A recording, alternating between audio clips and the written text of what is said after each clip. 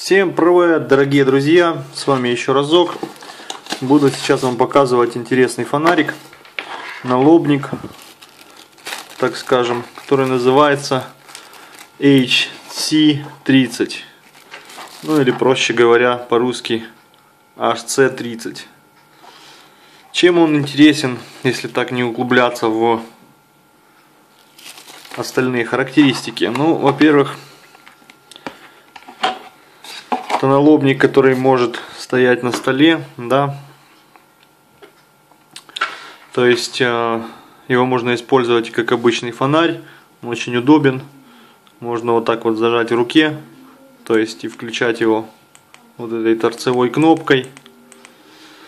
Э, не обязательно его носить на голове. Это первое, что его отличает от других налобников. Э, второе, это мощность 1000 люмен. Мощность достаточно серьезная для налобного фонаря и вот таких вот размеров. Ну, мы здесь имеем также очень такой развитый радиатор для лучшего теплоотвода. Работает эта красота на одном аккумуляторе 18650 в данном случае защита у него есть от переполюсовки. Температурный датчик стоит у него также. Если э, он какое-то время долго работает на ну, в максимальном в, в экстремальном режиме и перегревается то автоматически потом переходит на более низкий режим, чтобы ну, остыл фонарик. Так, э, ну, значит, комплектация стандартная, пятилетняя гарантия от Nightcore, пакетик с плюшками, клипса, запасная кнопка и резиновые уплотнители, инструкция на русском языке. Вот. Таблица мощности. На каком режиме сколько он будет светить. Если что, нажимаем паузу и потом читаем это все дело. То есть в режиме турбо 1000 люмен заявлен 1 час. Да. И в минимальном режиме Moonlight 1 люмен 330 часов. Вот. В зависимости от аккумуляторов. Тут еще разница. Ну, также его можно ронять с полтора метровой высоты и погружать на 2 метра под воду. Вот, значит, а, еще можно использовать вот такого плана аккумуляторы. То есть, вместо одного 18650 можно использовать два, две батарейки CR12A. Ну, здесь все подробно указано. При желании, чтобы не сильно перегружать всякими цифрами информацией, что я не сильно люблю. Всегда люблю общее впечатление от фонаря рассказать, там нравится, не нравится. Вот, кто хочет углубиться, пожалуйста, есть там вся информация в интернете, на сайте, углубляйтесь. Гладкий у нас здесь рефлектор. Вот. Так.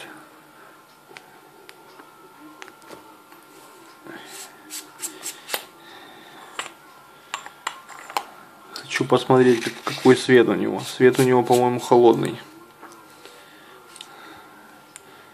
Не до конца затянул я. Да. Холодный у него свет. Ну что, давайте по самому главному, по режимам. Значит, здесь раз, два, три, четыре, пять режимов яркости основных. Один люмен и пошло-поехало.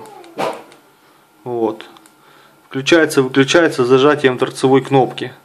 То есть э, от случайного включения он застрахован, у вас в кармане не включится. Также заслуживает внимания такое интересное крепление в виде просто двух резиновых колечек вы просто берете и просовываете этот фонарь. То есть э, все предельно просто, да. Вы там ничего не заморачиваетесь, вот все. Вы его продели сюда, и вы его можете поворачивать под любым углом, вверх-вниз, под каким вам нравится. Также вы можете его достаточно быстро извлечь из этого налобного крепления, да, просто сняв с резинки. Вот, раз и два. Все очень просто. Так, ну что, помимо еще основных режимов, у него есть режимы. Так, сейчас я. Стробоскопа, режим SOS, автоматически передает сигнал SOS и режим маяк. Вот, клац, клац, клац. Вот такой вот фонарик Nightcore HC HC30. А, ну давайте сначала посвечу я им в своей квартире. Вот, а потом еще посвечу на улицу. Так, собственно, вот мы включаем один люмен Moonlight. Вот если мне нужно там взяться за ручку, да, там что-то где-то посмотреть замочную скважину, все видно. Видно недалеко, но в полной темноте, знаете, можно как бы ходить, что-то рассматривать. Вот там люстра. Дальше. Второй режим уже достаточно яркий. То есть видно до двери там 5 метров. Видно с головой. Дальше еще ярче. Еще ярче и в максимальном режиме. У нас идет большой боковой засвет. Сейчас я вам покажу. Вот посмотрите достаточно большой боковой засвет. Вот. Ну и можно посветить на улицу. Всех с Новым годом! Ю-ху! Огоньки. Вот, кстати, голова на максимальном режиме нагревается достаточно быстро. Вот я, сколько тут горит, пару секунд. Уже видно, что она тепленькая. Я вот пальцами пробую. Так, я открыл окно, восьмой этаж, 28 где-то 27 метров, 28 метров. Дом рядом, вниз. Из-за дождя плохо видно камера. Вот. Ну, заявленная дальность у него там 162, по-моему, метра. Ну, дом рядышком метрах где-то в 15, наверное. Дом видно очень хорошо. Вот. Землю я тоже отлично вижу, но камера ее передавать это почему-то не хочет. Вот дерево еще видно. То есть, ну, светит, широко светит, широко. Но это, конечно, не дальнобой.